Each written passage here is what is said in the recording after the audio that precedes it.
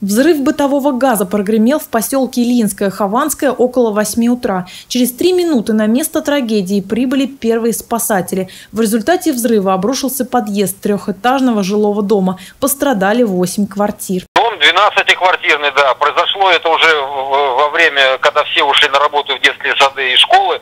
И в доме живых было на момент взрыва 4 человека. 4 человека.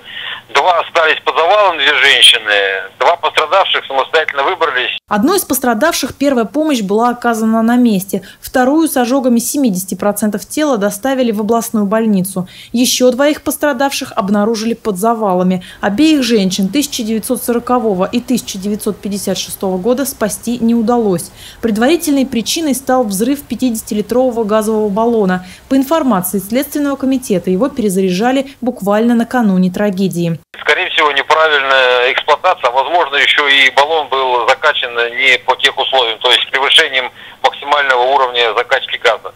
Все баллоны здесь размещаются э, на улице, все баллоны, дом не газифицирован централизованно, все баллоны размещаются на улице. Называется э, индивидуальная газобаллонная установка.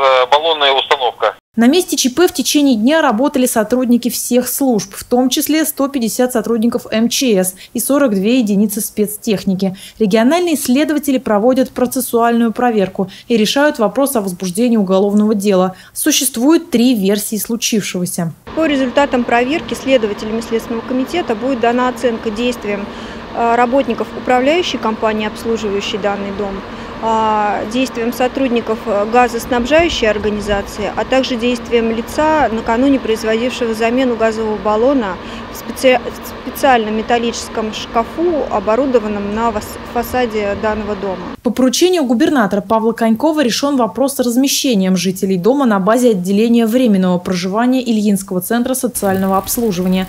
Также глава региона распорядился оказать материальную помощь пострадавшим и семьям погибших в результате чрезвычайной ситуации.